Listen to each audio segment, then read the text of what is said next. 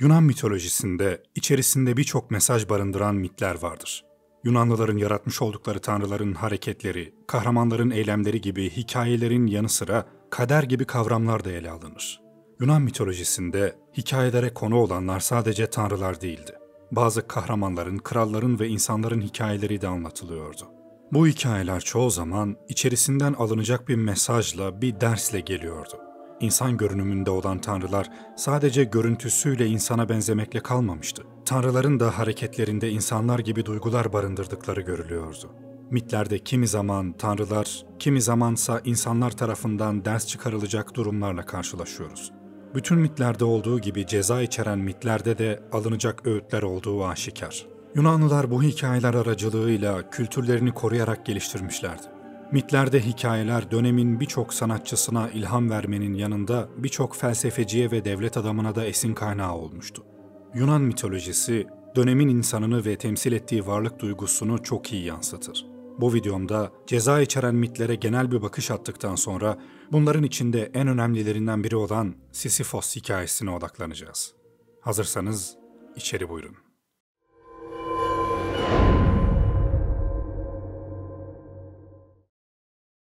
Yunan mitolojisi hem eski hem de modern çağlarda kendi geçmişi olan karmaşık bir organizmadır. Yunanlılar tanrıların kendi görüntülerinde olduklarını düşündüler. Yunan mitolojisinde tanrılar da tıpkı insan gibi duygulara sahiplerdi ve duygularıyla hareket ettikleri oluyordu. Kimi zaman bu duygular onları doğru olanı yapmaya teşvik ederken, kimi zaman da tıpkı bir insanın düşüncesizce davranması ya da öfkesine hakim olamamasına benzer şekilde eylemde bulunmalarına yol açıyordu. Kıskançlık gösterirler, intikam almak isterler ve çıkarları için hile yapmaktan geri durmazlardı. İşte tüm bu hal içinde tanrıların yaklaşımı, insan biçimci tavırları bazen gerek birbirlerine gerek insanlara yansıyordu ve bunun bir sonucu olarak da akıl almaz cezalar ve ibret olması adına verilen korkunç işkenceler kaçınılmaz oluyordu. Mitler aslında bir çeşit tarihtir. Tamamen kurgusal bazı anlatımlar olabileceği gibi yaşanmış gerçek hikayelere dayanan fakat zamanla değişime uğramış, efsaneleşmiş anlatımları da barındırır. Yunan mitolojisi tanrısallaştırılmış birçok soyut kavram içerir. Gece, şafak, karanlık, uyku, ölüm ve daha birçok soyut kavram tanrısal bir bedene sokularak sembolleştirilmiştir. Ceza kavramı da onlardan biridir. Antik Yunanlıların ve inançlarının şekillendirildiği mitlerde de ceza kavramı günümüzdekinden çok farklıydı. Örneğin bir kişi suç işlediği zaman, özellikle birini öldürdüğü zaman ülkesinden sürülürdü. Böylece sürülen kişi suçlarından arınabilirdi. Hapis gibi cezalar antik çağlarda karşımıza pek çıkmaz. Cehennem kavramı Yunan mitolojisinde tam olarak oturmamıştı. Bu yüzden hiçbir suçun cezasız kalmayacağı inancı çeşitli mitlerle anlatıldı. Ceza kavramının tanrısal kalıba sokulmuş ilk örneği intikam tanrıçası Nemesis'tir. Nemesis bir tanrıça olarak kozmik öç kavramını simgeler. İnsanları cezalandırmak görevlerinden biriydi. Nemesis tanrısal öç kavramını yani kutsal öç kavramını temsil eden tanrıçaydı. İntikam tanrıçası olarak anlatılsa da asıl görevi evrenin kozmik dengesini korumaktı. Fazla şanslı birinden zamanı geldiğinde bu şansı geri alarak dengeyi sağlardı. Haksızlığa uğrayan genellikle tanrıça Nemesis'e dua ederdi. Nemesis iyi olanı yani hak edeni ödüllendirir, kötüyü ise cezalandırırdı. Ceza ve cezalandırma ile ilgili görevli bir diğer tanrısal varlık Erinyelerdir. Erinyeler bazı mitlerde tek ya da sayıları çokça anlatılsalar da genel olarak üç kadın olarak tasvir edilirler. Adları Alekto, Megaira ve Tisifon'dur. Hikayelerde onlar hakkında çeşitli anlatımlar var. İntikam tanrıçaları olarak geçerler. Vicdan ve pişmanlığın karşısında duyulan suçluluğu açıklamak için yaratılan soyut varlıklar oldukları düşünülür. Eski Yunanlılara göre insan içinde iyiliği bulundurmasına rağmen genel olarak kötülüğe meyilli bir varlıktı. Bu yüzden kendilerine cezalandırıcı tanrılar ve tanrıçalar yaratmış olmaları anlaşılır bir durum. Tanrıların kesinlikle hoşuna gitmeyen bir şey varsa o da kendilerinin aldatılmasıdır. Bir şekilde bunu başaranları ise korkunç yöntemlerle cezalandırıyorlardı. Tanrılarla insanlar arasındaki sınır tanrılar tarafından zaman zaman aşılsa da onlar izin vermediği sürece insanların bu sınırı geçmelerinden hoşlanmıyorlardı. Bu sınırı aşanlarsa çok ağır cezalara katlanmak zorunda kaldılar. Tanrılara karşı yapılan oyunlardan ve aldatmacalardan söz edeceksek, adı anılacak ilk kişi kesinlikle Prometheus'tur. Kurnaz Prometheus. İnsanlara ateşi getiren hırsız Prometheus. Mitlerde onun zekasına ve kurnazlığına atıflar vardır. İnsanlık yaratılmadan önce Yunan tanrılarıyla Titanlar arasında büyük bir savaş vardı. Prometheus, kardeşi Epimetheus'la birlikte tanrıların tarafında savaşınca Zeus kardeşleri ödüllendirmek için onlara insanları ve canlıları yaratma görevini verdi.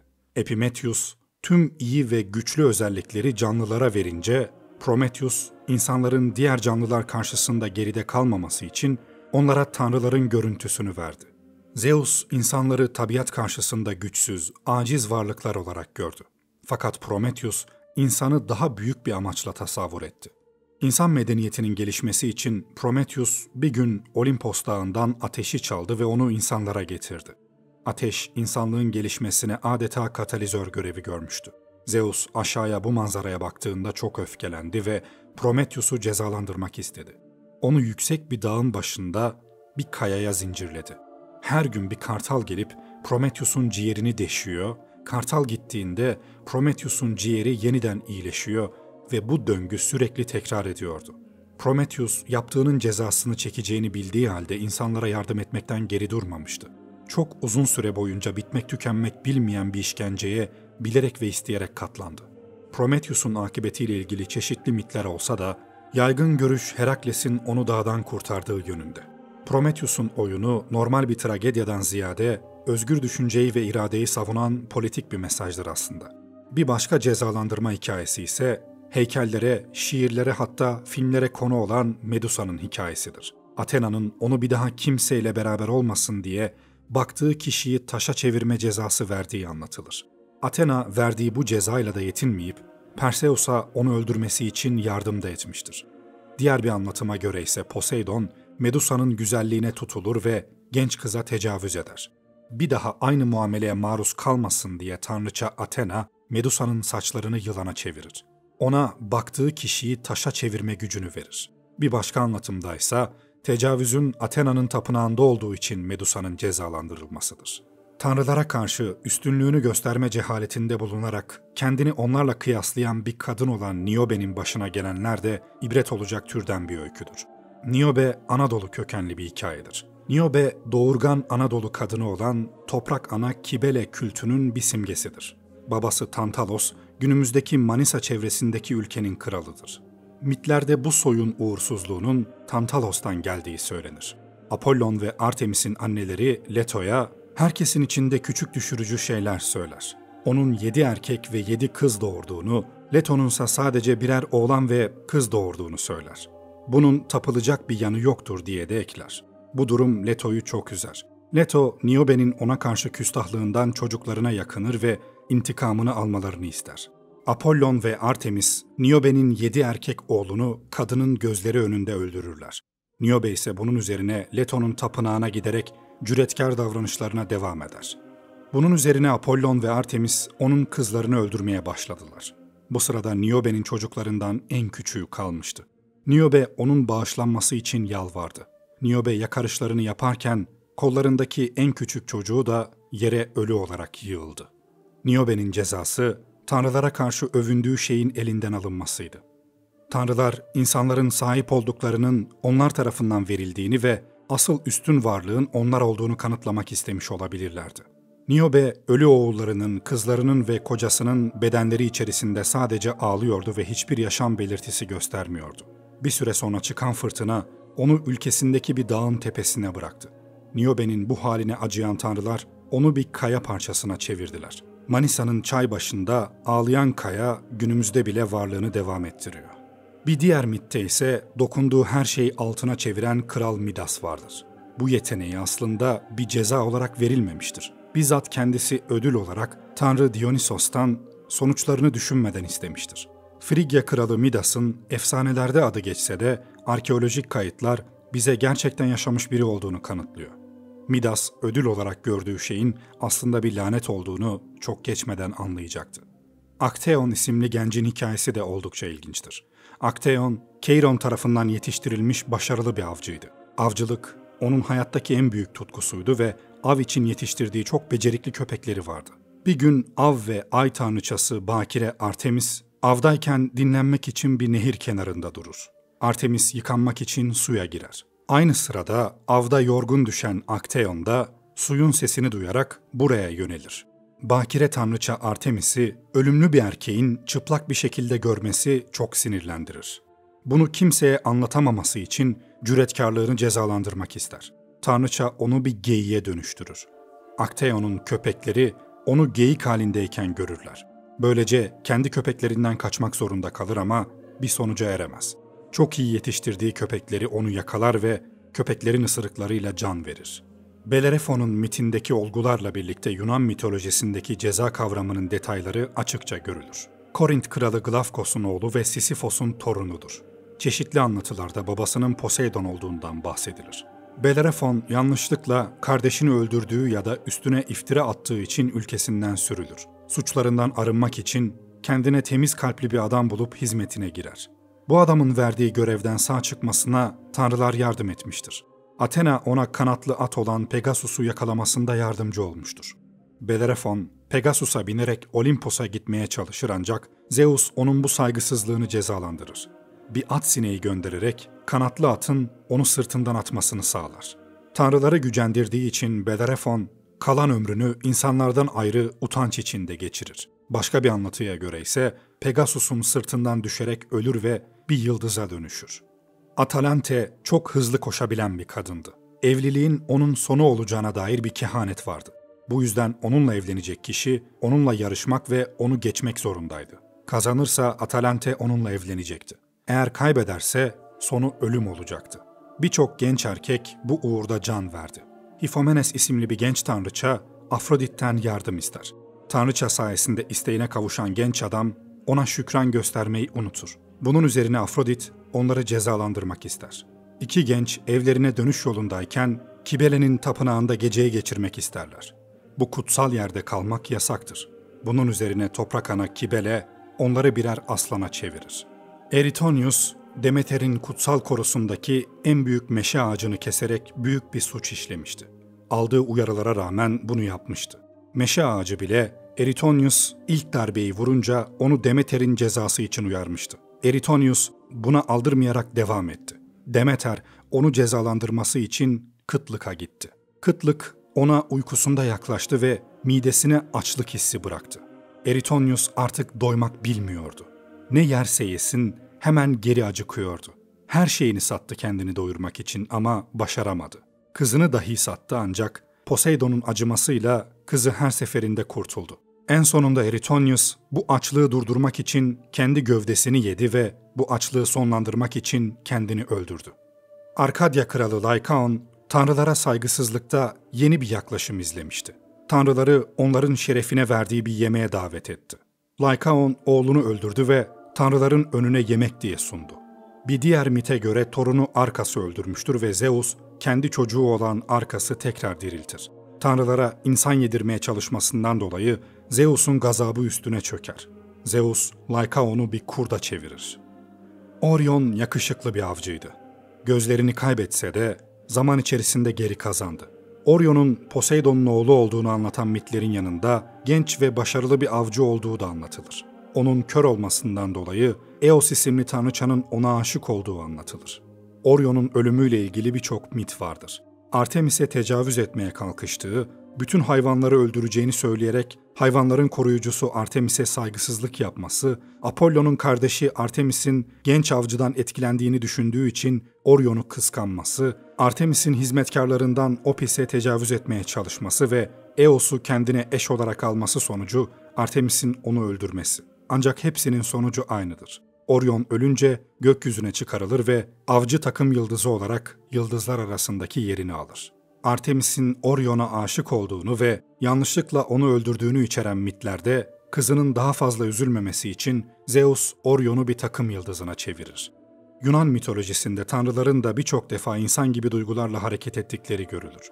Bu duyguların içerisinde suçlu suçsuz ve haklı haksız aramadan dahi hüküm verdikleri hikayeler vardır. İnsanların işlerini karıştırmayı sevmelerinin yanında tanrılar da insanlar gibi hazza düşkün, ölümsüz varlıklardı. İnsan görünümüne girdikleri zamanlarda aralarına karışırlardı. İstediklerini elde etmek için insan formunu birçok kez kullanmışlardı. Zeus, Titanlarla olan savaşı sonucunda kendisine karşı savaşanları ağır cezalara çarptırmıştı.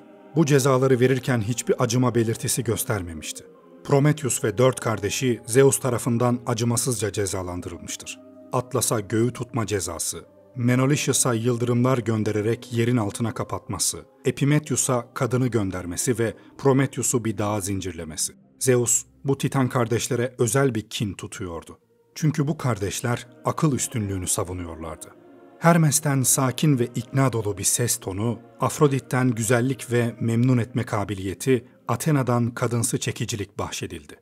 Prometheus'un kardeşi Epimetheus'a Pandora hediye edildi. Tanrıların kralı Zeus, insanların kendini sevmekten alıkoyamayacağı ama insanlara sadece kötülük getirecek olan güzel kadını insanlara gönderdi. Kadın o kadar etkileyiciydi ki Prometheus'un uyarısına rağmen Pandora'nın karşısında adeta büyülenen Epimetheus onu kabul etti ve onunla evlendi. Pandora kavanozu açtı ve içindekiler kanatlanıp uçtular. Kavanozun en altında olan Umut dışarı çıkamadan Pandora kavanozun kapağını kapatmıştı. Pandora'dan sonra tanrıların insanlara karşı olan öfkesi dinmemişti. İnsanlar giderek yozlaşmıştı. Tanrılar bu yüzden insan soyunu bitirme kararı aldılar. Zeus'un emriyle yağmurlar yağdı. Irmaklar ve denizler taştı. Birçok mitte de olduğu gibi Yunanlılarda da büyük bir tufan hikayesi vardır. Yunan mitolojisinde büyük tufan hikayesi Dükalyon mitine bağlanmıştır. Prometheus'un oğlu olan Dükalyon, babasının önceden uyarması sayesinde kayık yaparak bu felakete hazırlanmıştır. Dokuz gün süren selin ardında karısı Pira ile kurtuldular. Pira'nın Epimetheus'la Pandora'nın kızı olduğu bazı mitlerde geçmektedir. İnsanlık bu karı kocanın soyundan tekrar türemiştir. Narkisus için anlatılan iki öykü vardır. Bir tanesi Zeus'un kardeşi Hades'e yardım etmek için yarattığı bir çiçektir. Günümüzde Nergis isimli çiçeğin ismi buradan gelir. Diğer hikayede ise Narkisos yakışıklı ve genç bir erkekti. Adı Eko olan bir kız aşık oldu ona. Narkisos tarafından karşılığını bulamayınca Eko tanrılara onu cezalandırmaları için haykırdı. En çok da Nemesis genç kızın haykırışı karşısında etkilendi. Tanrıçanın öfkesi genç adama ağır bir ceza vermesiyle dindi. Başkasının sevgisine karşılık vermeyen bu adama ceza olarak kendinden başkasını sevmeme cezası verildi. Narkisos suda yansımasını görünce kendine aşık oldu. Cezasını şimdi anlayan genç adam suyun yanında eriyip gitti. Ölürken bile yeraltı ırmağı olan Styx ırmağındaki kendi yansımasına baktığı söylenir. Eridiği yer olan suyun kenarında bir çiçek topraktan çıktı. Açan bu çiçeğe onun adıyla seslenildi. Narkisos yani Nergis. Mitlerde karşımıza çıkan sonsuza kadar sürecek cezalar belki de cezaların en ağırıdır. Sonsuza kadar aynı işkenceye maruz kalmak, insanın akli dengesini bozmanın yanında ruhunu da parçalayacağına şüphe yoktur. Sonsuzlukla cezalandırılan isimlerin arasında ölümsüz isimler olsa da ölümlüler de vardı. Tanrıların gazabını sonsuza kadar yaşayacak olmak cezaların en ağırıdır. Ölümsüz bir titan olan ve Zeus'a karşı savaşan Atlas, bu sonsuz cezalardan birine çarptırılan ilk isimlerdendir. Zeus, Atlas'ı sonsuza kadar yeri ve göğü birbirinden ayrı tutmakla cezalandırır. Hesiodos, Atlas'ın göğü tuttuğunu söyler. Homeros ise onun yeri ve göğü ayıran direkleri tutmakla cezalandırıldığını anlatır. Tantalos, babası Zeus olan bir ölümlüydü. Tantalos, diğer ölümlülere nazaran çok daha sevilirdi ve ona ayrıcalık tanınırdı. Tanrılarla aynı sofraya bile otururdu. Tantalos'un tanrıları öfkelendirmesiyle ilgili farklı anlatımlar vardır. Zeus'un köpeğini Hermes'e teslim edeceği yalanını söylemesi, tanrıların yiyecek ve içeceklerini çalması, tanrıları çağırdığı ziyafette onların sırlarını açığa çıkarması gibi anlatımlara rastlanır. En yaygın anlatılan mit ise oğlu Pelops'u öldürerek tanrılara yedirmeye çalışmasıdır. Tanrılar onlara yapılan bu saygısızlığı anladılar. Tantalos'u öyle bir cezalandırdılar ki bir daha kimse tanrıları küçümsemek gibi bir hataya düşmeyecekti. Onu Hades'in göllerinden birine koydular. Tantalos ne zaman susarsa göldeki sular çekiliyordu. Gölün üstünde meyve ağaçları vardı. Acıkınca onları toplamak için her yeltendiğinde rüzgar onları savuruyordu. Böylece Tantalos sonsuza kadar aç ve susuz kalmakla cezalandırılmıştı. Korint kralı Sisyphos oldukça zeki olan bir ölümlüydü. Homeros İlyada adlı eserinde Sisyphos'un Eferya ülkesinin kralı olduğunu söyler. Bu farklılığa rağmen insanların en kurnazı olduğunu da eklemiştir. Zekasından dolayı Sisyphos'un ismi Sophos yani bilge sözcüğüyle ilişkilendirilir. Hayattayken birçok suç işlediği için kötü biri olduğu da anlatılır. Zeus, Asopos'un kızı Egina'yı kaçırır. Sisyphos da kızını kaçıranın Zeus olduğunu Tanrı'ya söyler. Zeus onu ihbar ettiği için Sisyphos'u yer altındaki ölüler ülkesine gönderir. Sisyphos ise ölmeden önce karısına onu düzgün bir şekilde defnetmesi için söz verdirtmişti. Böylece yer altına gittiği zaman dönebilmek için bir plan yapmıştı. Öldüğü zaman Persefon'a yalvararak işleri yoluna koyması ve karısını cezalandırması için ondan yeryüzünde üç gün istedi. Bazı mitlerde bu izni Hades'ten istediği anlatılır. Korint kralı karısını cezalandırmak dahil geri dönmek için de verdiği sözü tutmadı ve uzun yıllar boyunca yaşamına devam etti. Mitlerde tekrar yeraltı dünyasına dönüş şekliyle ilgili farklı anlatımlar vardır. Ölümlü olmasından dolayı eceliyle öldüğü ya da Tanrı Hermes'in Zeus'un emriyle Sisyphos'u yer altına sürüklediği anlatılır. Sisyphos burada sonsuza kadar sürecek cezasıyla yüz yüze gelir. Bir kayayı dağın tepesine çıkarması onun cezasıdır. Ne var ki cezası sadece bununla sınırlı değildir. Kayayı ne zaman en tepeye çıkaracak olursa kaya tekrar aşağı yuvarlanır, tekrar kaçmaması için boş zaman bulamayacağı bu sonsuz ve umutsuz döngü Sisyphos'un cezasıdır. İngilizce'de kullanılan Sisyphos'un işi diye bir deyim vardır. Bu deyim faydasız yapılan aktivite ve işlerin yanı sıra sinir bozucu işler içinde kullanılır. Albert Camus tarafından kaleme alınan Sisyphos söyleni, uyumsuz kavramına açıklık getirmeye çalışır. 1957 yılının Nobel Edebiyat Ödülünü kazanan bu eserde Sisyphos'un bilinçli bir şekilde cezasına direndiğini ve tanrılara baş kaldırdığı anlatılır. Her türlü yenileceğini bildiği halde umutsuzluğa kapılmadan kötülüğe direnen insanlar gibi Sisyphos direnmektedir. Camus'a göre ancak bu başkaldırı insanlığın gerçek boyutlarını kazanmasını sağlayabilir. Tanrılar Sisyphos'u cezalandırırken umutsuzca yaşanacak bir cezadan daha ağır bir ceza olmadığını düşünmüşlerdir. Sonuç vermeyen ve insanı umutsuzluğa sürükleyen bir çaba halindedir. Tanrıları hor görmesi, onların işlerine karışması, ölümü aldatması ve yaşama olan dipten tutkusu Sisyphos'un bu cezaya çarptırılmasının etkenleriydi. Kocaman bir kayayı yüklenen bir omuz ne kadar da ağır bir yüktür. Sisyphos'un direnişinde insanın güveni görülmektedir. Sadece bir ölümlü, bir insan olmasına rağmen yüzüne yapışmış o kayayı tekrar tekrar itmekten vazgeçmez. Onun bu katı direnci onu kayanın kendisi yapmıştır.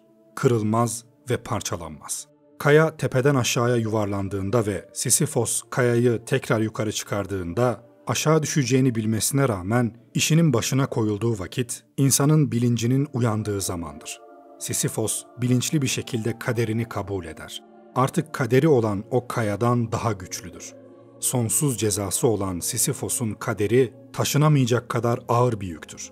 Bu ağır yüke rağmen asla pes etmez. Sisyphos'un tanrıların cezasının üstesinden gelmesinin ve onları yenmesinin sırrı ise bunu bilinçli yapmasıdır. İstese pes edebilir veyahut bir yardım bekleyebilirdi. Tanrılara dahi yalvarabilirdi. Korint kralı bunu yapmamış ve kaderini kendi belirlemiştir. Kayayı her seferinde usanmadan iter durur. Kaderinde zorluklara tek başına direnmek bile insana güç veren, içini dolduran bir güçtür.